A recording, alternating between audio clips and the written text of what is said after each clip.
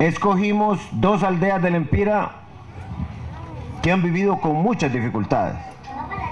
La estancia en Lepaera es, es una aldea, como ustedes la han tenido aquí, a boca de calle, cerca de Lepaera, del casco. Pero Rinconada es todavía más lejos.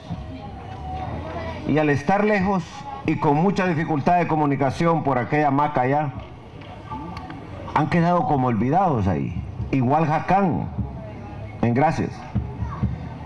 Y yo le decía a Ana, ¿por qué no empezamos vida mejor ahí? Y yo creo, Wilson, que es el momento de consolidar también todo el proceso de vida mejor en esas dos aldeas y medir cómo estaban antes y cómo están hoy. Porque al final tenemos que documentar y tal vez todas las organizaciones que trabajan con la Secretaría de Desarrollo Social pudieran hacer un concurso por estructurar el concepto de vida mejor, ponerlo en papel y medir, porque al final se trata de un principio bien básico, pero muy importante, que es un principio cristiano, que dice que ante Dios todos los seres humanos somos iguales.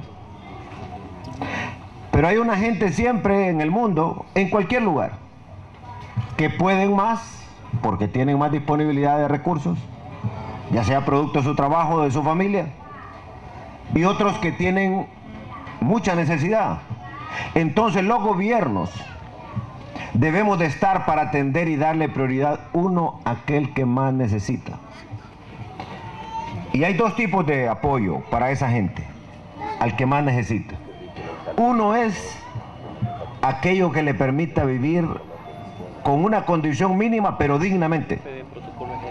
Por eso es que hemos cambiado los fogones tradicionales por los ecofogones, porque es un tema de salud. Es un tema también de cuidar los árboles. Para que de ahora en adelante en Lepaera, cada casa que tengamos en las aldeas, en los caseríos, si no tiene sus cabritas, debe tener sus cerdos, todas deben de tener gallinas y luego vamos con el ganado para volver a repoblar el campo y que nuestros niños y nuestra gente viva en muy buenas condiciones. De eso se trata este programa. Y ahora bien, también Vida Mejor va a ser financiamiento, la oportunidad de que Banca Solidaria les preste a ustedes para ampliar su negocio a un 1% mensual, más barato que cualquier otra oferta que tengan. Pero eso sí, hay que ir pagando semanalmente ese dinero porque al terminar de pagarlo primero, el primer préstamo, Banca Solidaria le presta el doble. Tenemos miles de familias ahorita que pidieron 5 mil empiras para iniciar su negocio. Van pagando semanalmente, terminan de pagar y Banca Solidaria les presta 10 mil la siguiente vez. Y después 15 mil. Y de esa manera empiezan a despegar. Y ya cuando se convierten en buenos pagadores, nosotros los pasamos a una cooperativa o a un banco y ya empieza el negocio más grande todavía. Esas son oportunidades que estamos construyendo para ustedes. Aprovechenlas. Y para mí es muy importante, como decía Felipe, que Lempira sea el abanderado de estos proyectos, porque aquí nació esta idea hace como 10 años y me encantaría que esto sea de ejemplo para el resto del país.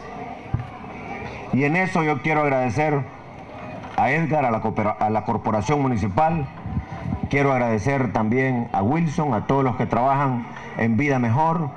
Esto nunca lo habíamos tenido, esa cercanía con la gente.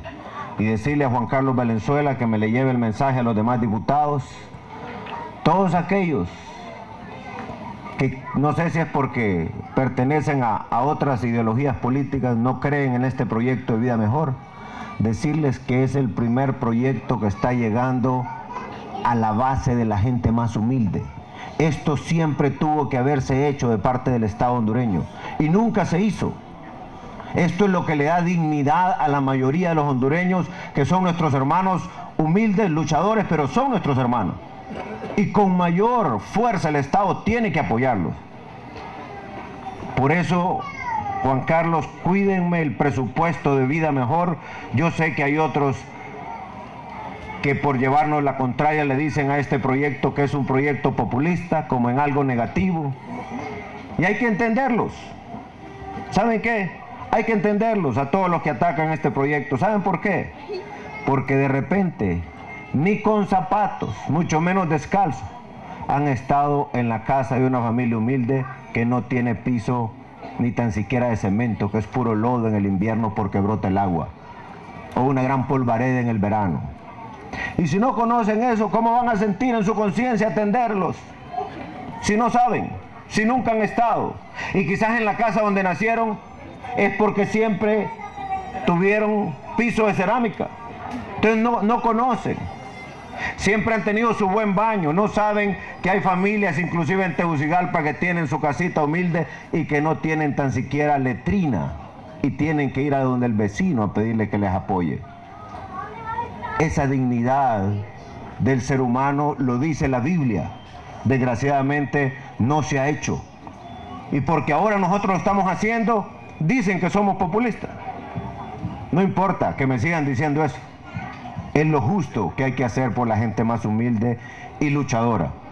Y mientras yo sea presidente, no voy a descansar hasta que la última familia de Honduras que necesite vivir con dignidad tengamos eso presente. Ese. La calle se está deteriorando mucho. del desvío a Lepaera. Y si me ayudan diciéndole al ministro de INSEP, donde sea que esté ahorita, como ustedes comunican las cosas así, que tiene que empezar cuanto antes a arreglarme la calle de Lepaera, porque se nos puede arruinar. Se nos puede arruinar. Miren, ya la calle de Santa Rosa, gracias, ya no es problema. Antes era un lío, ¿se acuerda, profesor Herminio, cuando íbamos a Santa Rosa? Pero ahora también, de gracias a allá a la esperanza, ya no hay problema con la calle. Y tenemos que empezar también ya de gracias a la campa y después hacer el otro tramo San Sebastián hasta salir a la frontera con El Salvador. Ya vamos de Ocotepeque llegando a Valladolid hasta que cerremos todo el círculo y la Empira tenga esas calles que tuvo que haber tenido siempre. Ah, también. Ya hicieron, ya hicieron el estudio. Ok, muy bien. Y el otro tramo aquí de Lepaera San Nicolás, que lo vamos a ir haciendo por tramos. Y aquí probablemente van a decir muchos ahí en el resto del país, es que están metiendo muchas carreteras en la Empira porque Juan Orlando es de allá. No, les voy a decir una cosa. Si suman las manzanas de café que están en el municipio de Lepaera, de Santa Bárbara, de La Empira, de Copán y de Tibucá, solo en esta zona. Es la zona de mayor producción de café, de manzanas de café de todo el país. Nosotros le aportamos al Estado de Honduras. Ahora lo que queremos es que le paguen con obras a esta gente que tanto ha necesitado y que ha sido un impulso para la economía. De eso se trata. Bien sencillo. Nosotros contribuimos, queremos que nos apoyen. Y además es para seguir produciendo más. De eso se trata, porque el Empira me lo habían dejado muy olvidado. Y yo no me puedo perdonar tampoco, no lo voy a negar estando en este cargo, no dejar mi departamento como debe ser. Así es de que eso lo vamos a trabajar en conjunto.